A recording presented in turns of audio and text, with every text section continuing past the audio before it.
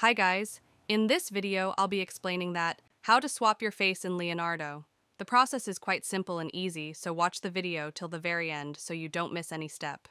Here is the homepage of leonardo.ai. From here, if you don't have an account, then tap on the option to create an account. And you can log in with the help of your Google account. You don't need to buy any kind of subscription, you can do it for free. After this, the next step is tap on the option Launch App. Now, this is the home page of Leonardo.ai. From here, tap on this option. Training and Dataset, and tap on the option. Create new dataset, and write the name of your dataset like I am writing.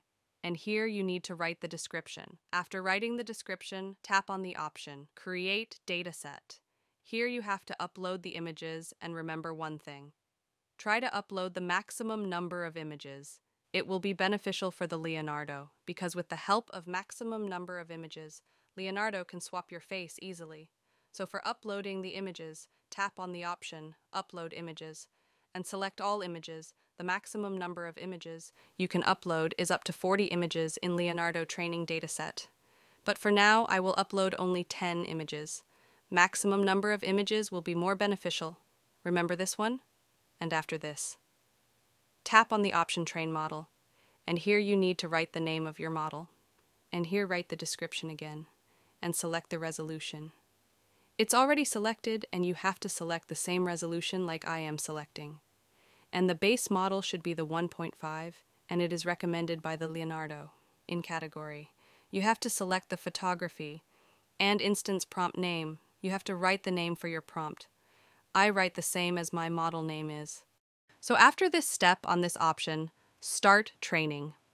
So it starts training, and it will take up to 30 minutes to a few hours, and they will notify you by your Gmail account.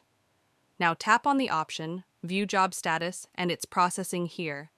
And once it will be completed, the processing will be changing to the done. After waiting for a while, they send me a notification on my Gmail account. Your model has been finished, and also it's finished. You can see the option done. Now the next thing is, simply go to the User tool and tap on the option Image Generation. From here you will see this option, tap on this, and tap on the last option. Select Other Models, and tap on the option Your Models, and this is my model. Tap on the option. View, and tap on the option Generate with this model. Now you have to type a prompt means how you actually want to generate this image like I am writing for an example. So after writing the prompt, here are the options, number of images. If you select one, then it will generate only one image. But if you select four, then it will generate four images. It's up to you how many images you want to generate. But for now, I would generate only two.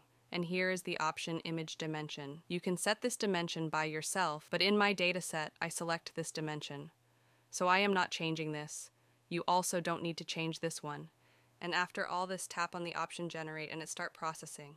Now the image generation has been completed, and you can see the final result.